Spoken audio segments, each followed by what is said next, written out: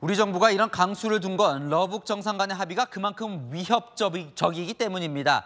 한반도 유사시에 러시아의 군사 개입 가능성이 커졌습니다. 1961년 조소 동맹이 부활했다는 평가까지 나옵니다. 박수유 기자입니다.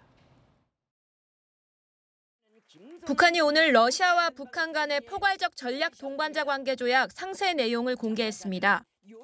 핵심은 조약 4조로 두 나라 가운데 한쪽이 무력 침공을 받아 전쟁 상태가 되면 다른 한쪽이 지체 없이 모든 수단으로 군사 원조를 제공한다고 명시돼 있습니다.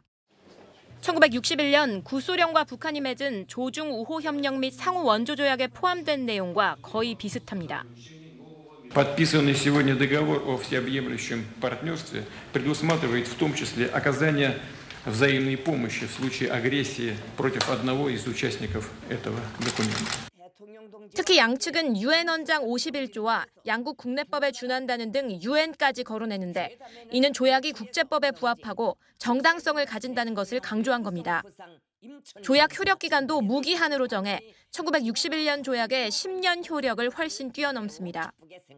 방위 능력 강화를 위한 공동 조치 제도도 새롭게 명시됐는데 우크라이나 전쟁을 치르는 러시아가 북한으로부터 무기를 받고 담내로 러시아의 최첨단 기술을 전수받는 등 군사 협력 강화 근거를 마련했다는 분석이 나옵니다. 김정은 국무위원장은 이번 조약을 근거로 러북이 동맹이라고 밝힌 만큼 한반도 유사시 러시아의 개인 명목을 마련한 것 아니냐는 우려가 나옵니다.